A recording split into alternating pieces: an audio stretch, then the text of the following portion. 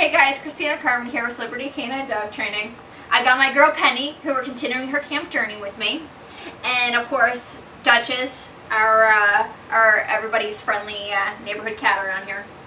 So, Penny is doing fantastic with everything. She's had a full, uh, full-fledged first week of the prong training collar, the remote collar. She's doing great. We're starting in to add some major distractions with the other dogs and other people and so on. We'll be taking her on her first field trip later and she's just being very, very good. She'll still get pretty curious with the cat if the cat just all of a sudden took off and started leaping on the couch or doing something completely nutty. But all in all, she uh, she's really just a lot more, you know, well received with uh, with the cat. And she's doing a really, really great job with controlling her impulses uh, when, uh, when, when she knows that she's supposed to be nice and chill and calm like this. So today we're actually going to start on the treadmill with her, which is a fantastic way, one, just to plain and simple get your dog to burn off some energy. Your dog wakes up every morning with a certain amount of energy and they're either going to expend it every day in a very positive, structured, oriented way or in a pretty negative, bouncing off the walls, crazy, chaotic way. Plain and simple. So of course, your pack walk is your number one way of getting your dog super structured and Duchess just leapt up top of the couch. So you saw that little reaction, but she controlled that really well. The pack walk is the best way to get your dog some super structured, you know, type of exercise because you're definitely the leader there. They're following. You're out and about. You're getting fresh air. It's excellent. But in reality, one, there's some dogs that are very, very high energy that, let's be honest, you probably can't run 10 miles with them every day. And then there's going to be weather days that it's really not safe to be outside, whether it's a 95, 100, 105 degree and humid day, or it's a zero degree with blizzard and windy conditions and so on. Either way, it's not going to be great for you to be outside with your pets for more than a couple minutes for potty time. So the treadmill is going to be a great alternative during those particular days. The treadmill is great when you have dogs that really need some extra socialization with cats, with strangers, with dogs, with a lot of other distractions because when they're on the treadmill, they have to stay focused. Literally, the floor underneath you is moving. If you at any time get distracted and unfocused, it's going to go out from underneath of you. So they have to stay super concentrated on it, which is which is really positive for these dogs. They can get so unfocused so easily. So it teaches them to simply focus on one thing and not have some of that ADHD that uh, that they so often get. So that's very, very, uh, very helpful for a lot of the dogs.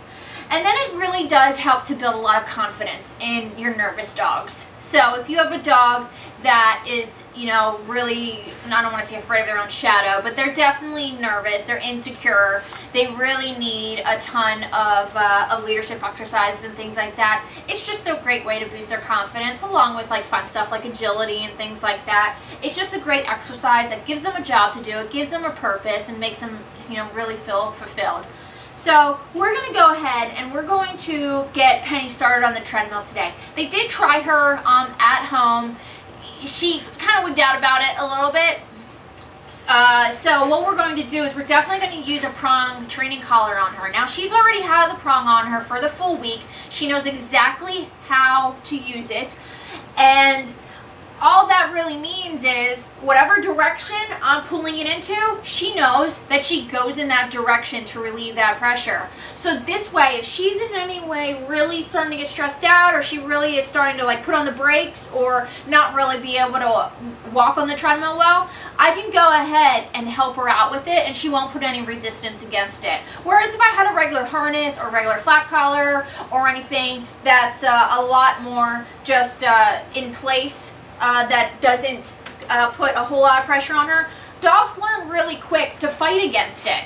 So that would actually make my entire treadmill experience much worse for her because she's going to actually be fighting the collar at the same time that she's fighting the treadmill. And that's what I don't want. So this way she has a really great understanding of what the prong collar means.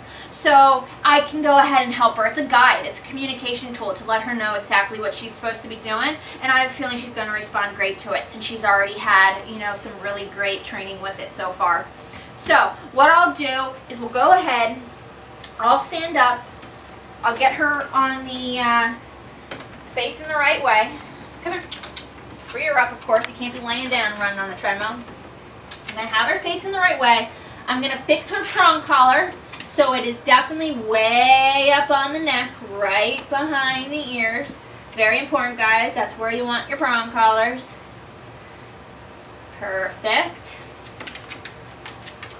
And what I'm going to do is I'm just going to start it and we'll see how she do it. Now I'm have both of my legs on each side of her, my left on the left and right on the right. I'm basically straddling her. This way, if she were to get really kind of jumpy about it, I can also use my knees to kind of support her and nudge her in the right direction. But for the most part, I'm going to be helping her with the leash. So we'll go ahead and see what she does. And I'll start super slow. There we go. Woo. So you see she's kind of a little, there we go. She's doing pretty nice about this though. So get her kind of understanding. So I start super slow, guys. I just want her to understand. There we go. Just kind of looking around, curious about it. There we go. A little bit of help right there with the uh, with the prong collar to get her moving forward. So she has a really good kind of mechanism of walking forward on it. So I'm actually, I'll go ahead and move it up to 1.5 to get her moving.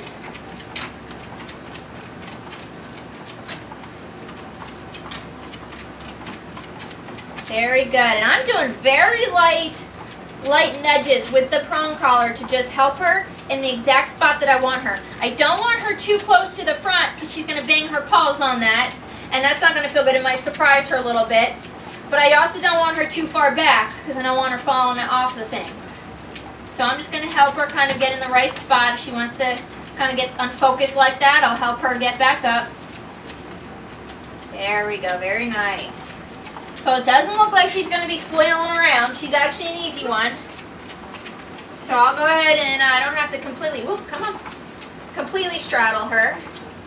Perfect. And then as far as finding the best speed for her, I basically go up three or four notches at a time. So right now I believe we're at a 2.0. Very nice.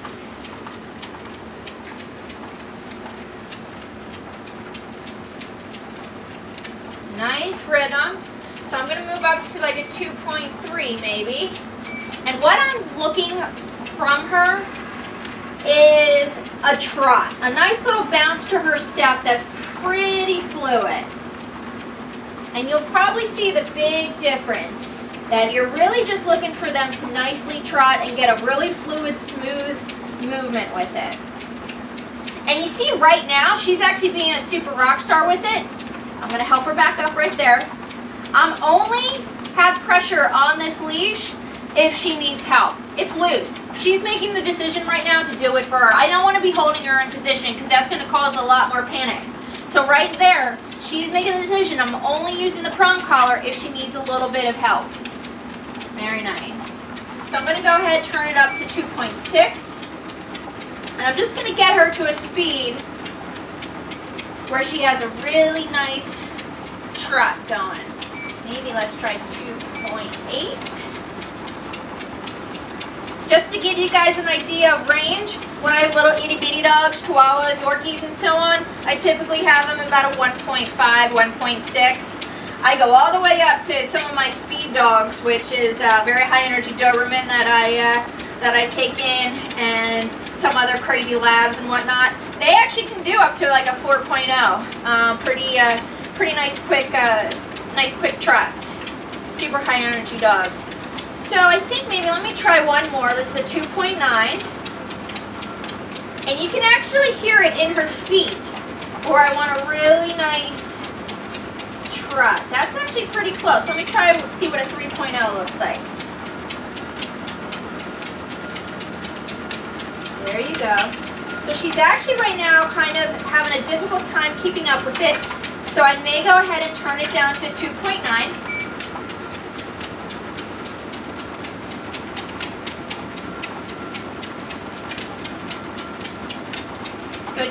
Penny. Lots of encouragement. She's being a great girl. Very good. Go ahead, turn over here. Come on, Penny. Up. So if you're going to get any panic like that, you can use your prong collar just like this to kind of help her. Good. That was perfect. And you saw she got a little nervous right there because I was getting in front of her. I simply tugged on the leash to let her know to recollect herself, and I pulled her a little bit towards the wall to help her uh, help her in that position. Very nice. Good girl, Penny. You see how she has a really nice bounce to her step? That's that's perfect. That's exactly what I'm looking for. Awesome.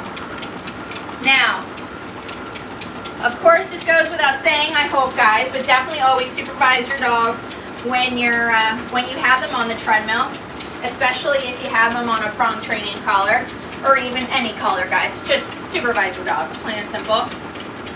But over time, as she gets really good with this, you can go ahead and you can pretty much tie the leash right here. And I'll still be next to her to keep an eye on her. But, and she's not that great at it, so I'm not going to let it go just yet. But uh, you can see how she's really getting the hang of it, and I'm only helping her as needed. Very nice. I'm actually going to turn it down to 2.8. Perfect. There we go. Nice, kind of just a fluid trot that she has going on. That's perfect. So now, for the most part with these dogs, I'll start off to 5 to 10 minute sessions. And then if I'm actually going to do it with them every day, a 20 to a 30 minute session, um, roughly, uh, every uh, every morning just to burn off some extra energy and so on. Of course, on days where you're doing absolutely no pack walks outside because of weather or other uh, um, other conditions or situations, such as uh, you're sick or something like that, you can do it for uh, for your dog's allotted amount of time of exercise. Now, how you want them to get off safely. So what I'm going to do is I'm slowly going to turn it down there we go. And then I'll go ahead and stop it because I don't want her bouncing off. Good girl. Perfect. Because that's a kind of another unsafe thing to do. And then she can nice and calm. Okay, you're free. Good. So just like I want her, good girl, to go on it nice and smoothly, I also want her to go off of it nice and smoothly. She should understand that at any time that I'm on this treadmill, I'm kind of just go on it in a nice, relaxed kind of state of mind. I shouldn't be crazy and completely unruly and whatnot. Penny, sit. Good girl. So that's it for the treadmill. Uh, you know, a little 101 with her. And we'll basically just do this every day for about, like I said, 15, 20 minutes just to help her get focused. We'll have the cat, you know, walking around her and so on. And then, of course, Penny, sit. Thank Um, of course, this is going to be a great tool for when she's ready to go home. So they could use this at home to uh, to burn off some of her energy. Since they, of course, I mean, they have a little girl or something, so if it's raining, everybody can just play inside. Penny's on her treadmill, getting a good workout. And this is also going to be really solid for her rehabilitation in general with the cats in the house because it's going to help her stay focused even if the cats are walking around being naughty around her and so on. So this is going to be great. So that's a wrap for today. What we'll do next is, of course, big field trips with her and uh, lots and lots of distraction work. So this is just step one, and uh, we'll see you next time. Thanks, guys. Yes, yes, yes.